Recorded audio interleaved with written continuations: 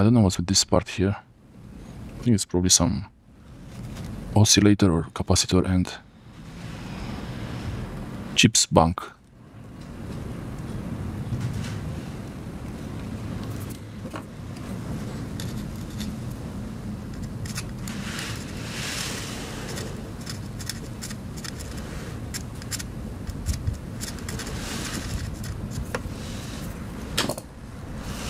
Better leave it as it is.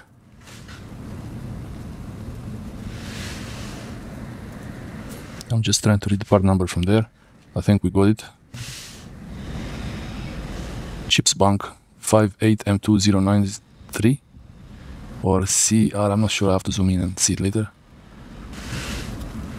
But otherwise, if this chip is not squashed too much, I don't know here. Ah, this is, it's just, it's just from this part here, just that, so it's okay.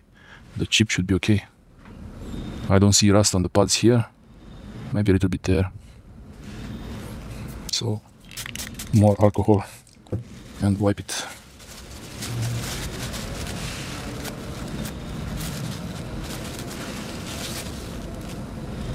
Okay, I'll remove the USB connector and I'm gonna be back.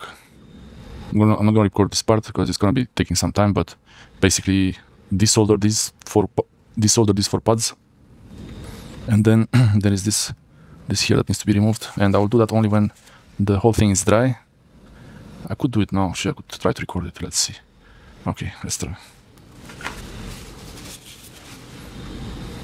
Have some solder here, the soldering iron, and uh, the, the USB stick. That's the USB.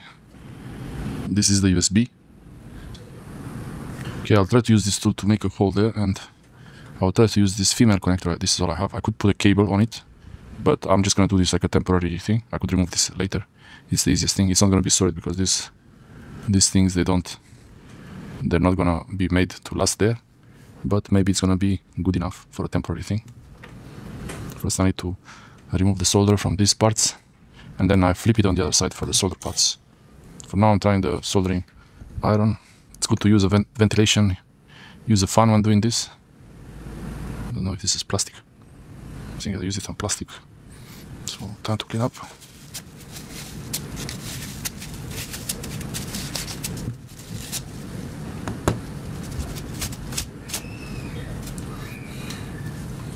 Shouldn't have used this on plastic, but I think I did. So I'm not sure how this is gonna go. Okay.